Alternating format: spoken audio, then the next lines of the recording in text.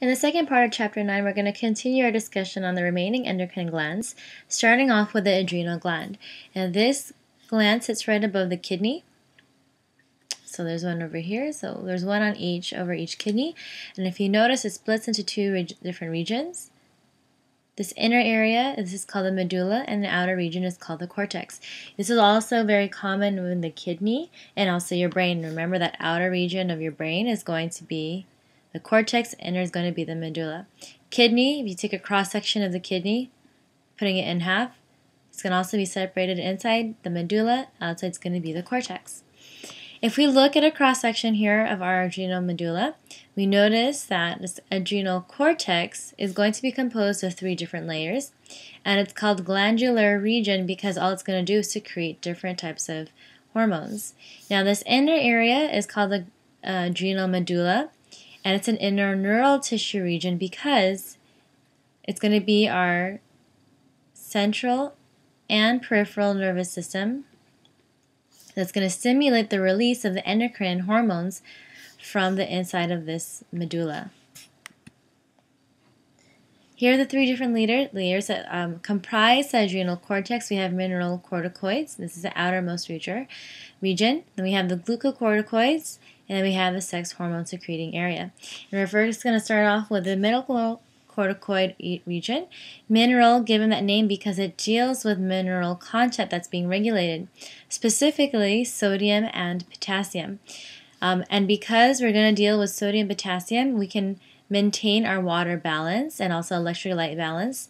And thereby, if we can regulate this and this, we can also regulate the amount of water entering and exiting our kidneys and therefore we can also regulate blood volume and blood pressure. Let's take a look at that over here. And so here we just see that this mineral corticoid layer, what this secretes is a hormone called aldosterone.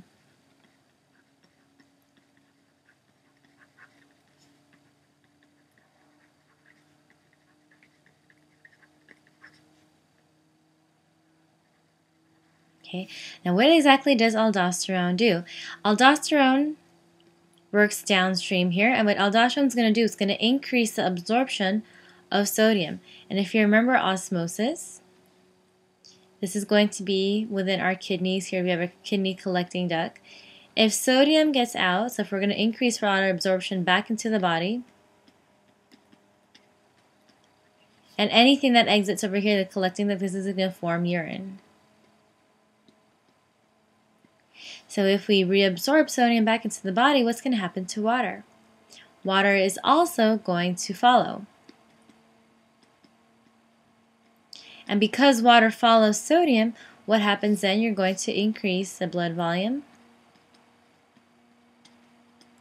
If you have a lot of fluid then within your blood vessels, in turn you're going to increase your blood pressure. And because aldosterone does these key effects, we can control and have different stimuli to whether increase the stimulation of aldosterone or decrease the stimulation of aldosterone. And so there's two upstream ways that we can cause aldosterone to be secreted. The first one is if there's too little sodium or and there's too much potassium in the blood, then we're going to have this direct stimulation to increase sodium re, uh, reabsorption and then also secrete potassium out into the urine. Also, if you have a decreased amount of blood volume or and blood pressure, how are we going to change that? Well, we can just secrete aldosterone. We're going to cause our mineralocorticoid layer to secrete aldosterone. This in turn is going to reabsorb sodium, increase blood volume, and increase blood pressure once that water follows.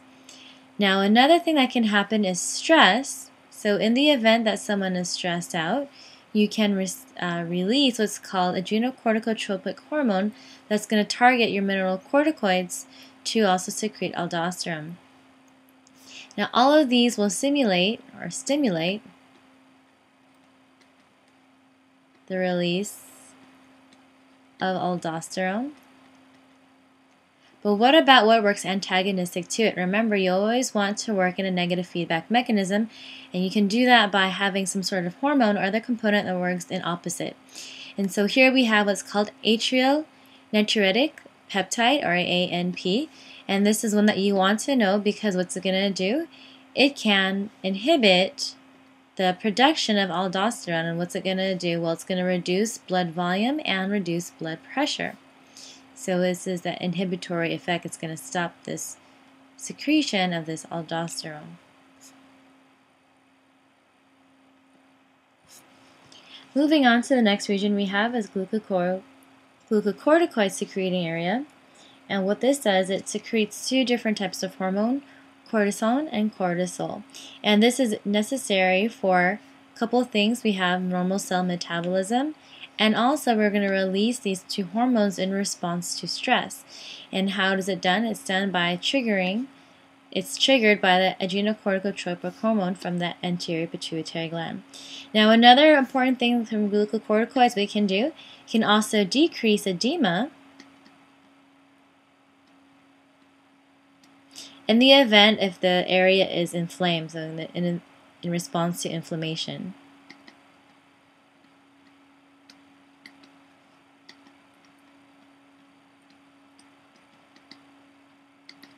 And it can also inhibit pain by causing molecules such as prostaglandins to be secreted into the body. Let's take a look here of how, how those cortisone and cortisol works. In the body, here we have cortico, adrenocorticotropic hormone being released by your anterior pituitary gland.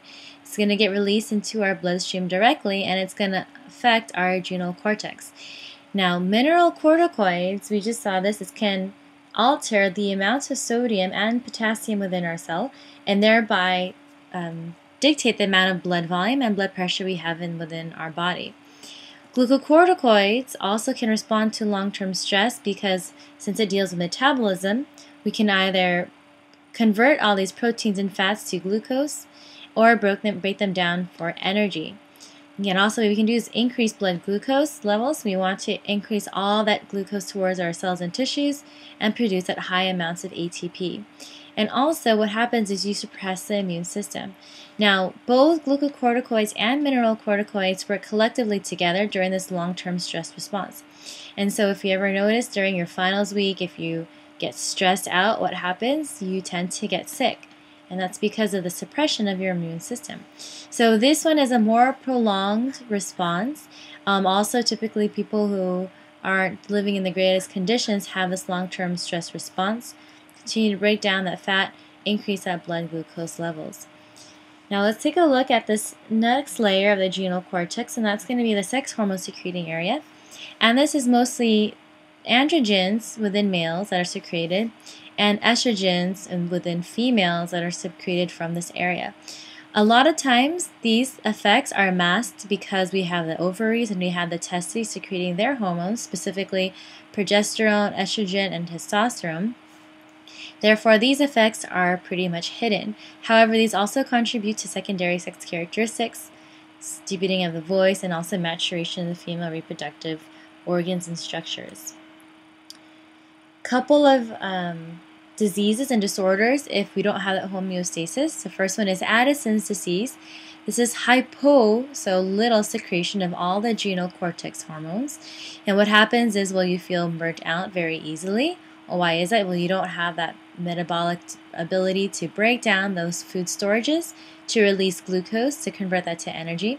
Your muscles are weak, also due to that decreased ATP availability and also decrease of that synthesis of those proteins and you are more susceptible to infection because you have a decreased immune response. Hyperaldosteronism, this is from an ACTH releasing tumor. And if we're going to think about this mineral corticoid level, we're going to have excess water and sodium retention. If we're going to continue to stimulate mineral corticoids, continue to secrete aldosterone, that in turn will lead to this high sodium retention, high water retention, therefore blood pressure, and then edema, which we're going to see in um, a couple of chapters. Edema is also due to having high blood pressure and not having a lot of that return from those fluids and, and those tissues into your blood vessels. Now, I do want to look at one more thing. And I don't think that I mentioned it earlier, but I do want to highlight this. I don't recall if I mentioned it earlier. However, going over back here, I want you to notice, um, since I didn't fail to mention this earlier, not only do we have this decreased sodium and potassium stimulating your aldosterone level, you also have your stress response, so that's also going to stimulate aldosterone, short-term response of stress. But you also have this decreased blood volume, blood pressure. When that happens, you're going to cause your kidney to secrete renin. Renin, in turn, is going to cause a chain of reactions to initiate and activate angiotensin 2, and angiotensin 2 directly is going to cause the production of aldosterone. And so, therefore, you have two stimuli, really, or three, including ACTH, to stimulate aldosterone release to increase blood volume and increase blood pressure. So, here's the first one. Here's a second one through renin. And you also want to know angiotensin 2. And then finally, three is through adrenocorticotropic hormone. And then once again, ANP is going to be in the antagonistic hormone.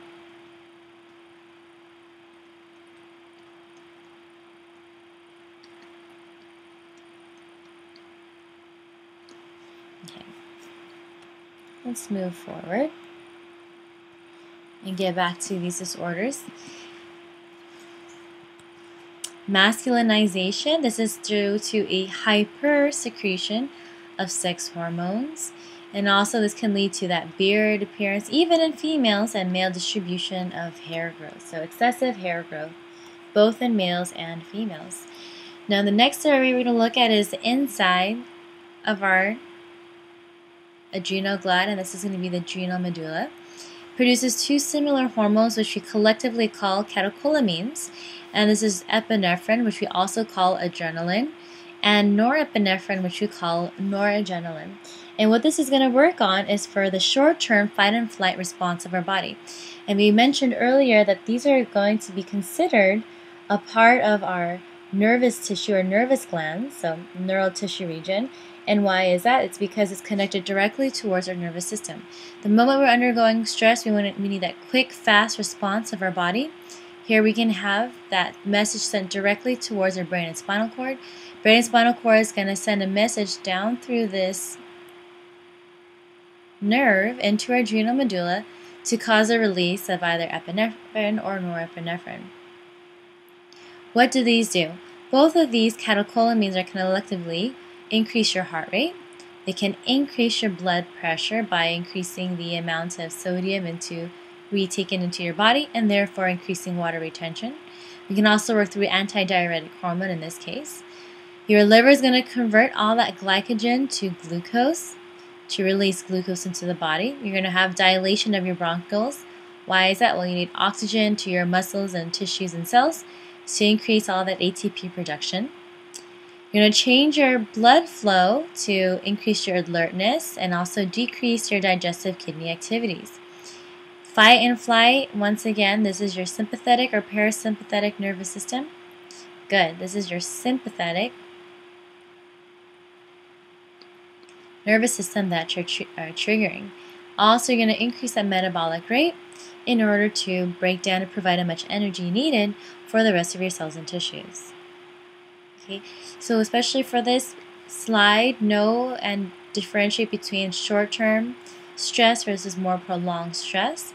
What are the hormones that are involved in both? And then also what are the downstream effects? Next endocrine gland we're going to look at are the pancreatic islets. This is a mixed gland being both endocrine because we can secrete hormones and exocrine functions because we can secrete digestive enzymes. Okay, so here is our pancreas and if you ever take Bio 130 lab and you do your fetal pig dissection, you always want to look for the structure that kind of looks like baby corn and that's the way I kind of remember it. So you'll probably never look at corn the same way again.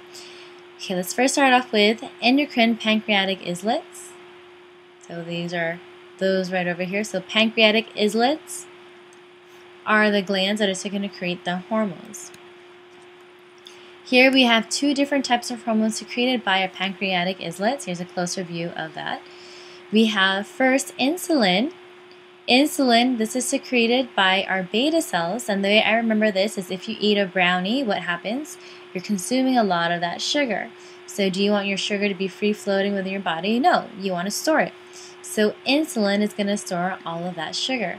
So what's it going to do? It's going to allow glucose, here's your cell. Insulin's going to allow glucose to enter into the cell and get stored as glycogen. Glucagon, what happens? This is when glucose is gone. This is when you don't have a lot of sugar within your body. So how do you change that? Not a lot of sugar in your body. This is going to be secreted to then break down glycogen and allow glucose to enter into your blood. And this is secreted by the alpha cells, and alpha cells are these guys here in red, and beta cells are the ones here in blue. Now another way you can differentiate this insulin versus glucagon, beta cells versus alpha cells, in the word glucagon we have a letter A and that stands for the A in alpha cells. Okay, and so of course to maintain homeostasis both insulin and glucagon have to work antagonistically to each other. Now, another thing, key thing, like I mentioned before, anytime you have to memorize a lot of things, make stories, create, try to create stories in your head. How do things work? yeah, you don't really want to know. I have so many different stories in my head and kind of going a little crazy for how everything works within the entire body. But it helps. It all works. Here's this overview of how both insulin and glucagon work antagonistically to each other. Here's our normal blood glucose levels, which you want 90 milligrams per 100 milliliters. What happens after a meal? Well, you just, oh, this guy, this person ate four jelly donuts. I don't know about that, but I don't, well, malasadas. Okay, I can say four malasadas. I'd rather eat four malasadas than jelly donuts. Okay, so if you eat four malasadas, we'll just change that. Malasadas. Who eats jelly donuts? Well, I know some of you guys do, but anyway. So you have high amounts of blood sugar levels. What's going to happen? Which, uh, which cells are going to secrete insulin? Good, we have those beta cells going to secrete insulin. We're going to take in all that glucose into our cells. We're going to convert glucose into glycogen. There's lots of G's here. So glycogen, once again, being that storage form of glucose. And then we're going to, what happens? So we're going to store that within our cells. And then that stimulus, that we have lots of glucose within our blood, is going to get shut off. So we're going to turn that off. Now we're at homeostasis. Let's look at what happens in the opposite direction. If you don't have a lot of blood glucose, if you skipped a meal, Let's say you said, oh my gosh, I'm so sick of all those malasadas. I'm not going to eat anything for days. Your glucose level systemically is going to decrease. We're going to sense that by our pancreatic cells. And what's going to happen? We're going to secrete glucagon because what happens? Glucose is gone. What are we going to do? We're going to break down glycogen to glucose, release glucose, and then we can have more systemic levels of glucose. And now we have homeostasis. Perfect. Let's take a look at a disorder that we all know and probably have heard about before, and this is diabetes. And we learned already insulin being that one hormone needed to move glucose from that bloodstream to the muscles, fat, and liver to be eventually be used as fuel. Now, what happens with people with diabetes? A couple of things.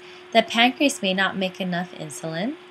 The cells themselves do not respond to insulin normally, therefore, they cannot take in all of that glucose from our bloodstream, or a situation where you can have both of the above. Now, there's two different types of diabetes that we know about based on the different populations they target and when they come into play. So, one that's uh, congenital, meaning that you're born with it, this is type 1 diabetes, and it targets children, teens, and young adults. And with this type of diabetes, the body makes little to no insulin, and therefore daily injections are needed. This is pretty much a lifelong challenge for these individuals. This is different from type 2 diabetes, which is developed or acquired. I shouldn't say it's developed, I should say more like it's acquired over time because of different factors. This targets adults, and specifically, one of the most common factors is obesity. Now, why is that? Well, here, let's just say here are your blood vessels, and here are your normal cells that are going to take up all of those nutrients. People who are obese, what tends to happen is now you're going to start increasing the amount of adipose cells, adipose being those fat cells.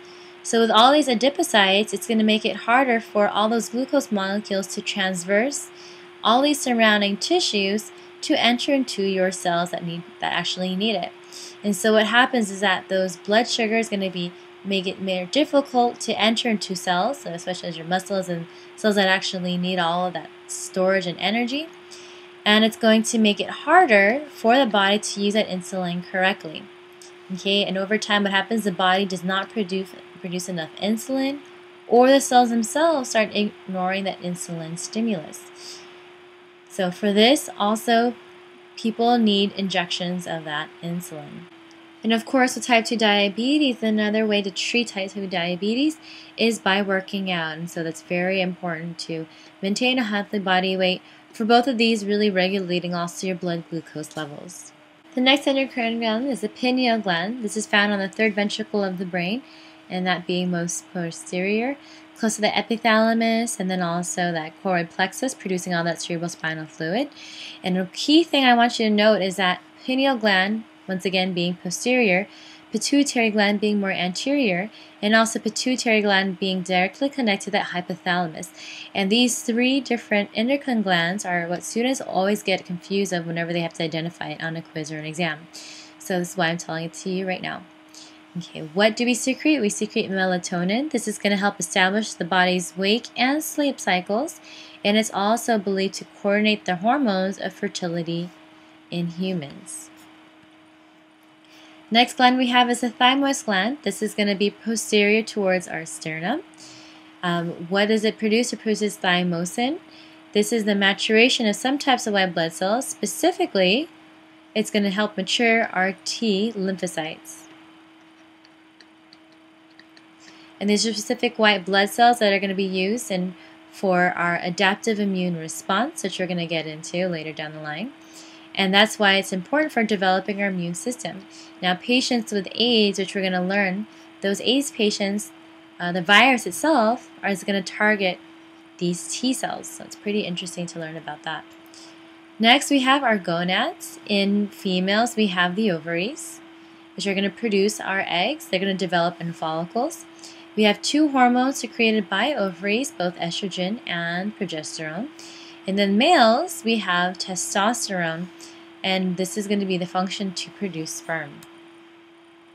Looking at the testes first, we have several androgens. Those are sex, um, sex hormones. And the most important sex hormone in the males is going to be testosterone. And as we said earlier, within our um, within our our adrenal cortex, we do produce some sex hormones as well. However, majority of our adult male sex secondary characteristics, deepening of that boy, voice, the formation of the pubic hair, the height, the uh, masculinity of this male is all responsible from this testosterone. Um, and we, of course, need testosterone for the maturation of our sperm cells. In the females, we have the ovaries, which secrete estrogen and progesterone. Both estrogen, this is going to stimulate development of female sex characteristics, so development of the breasts and also um, the pubic hair and also the genital hair, of different hairs within the body. Um, progesterone, it's going to act with estrogen to bring about the menstrual cycle.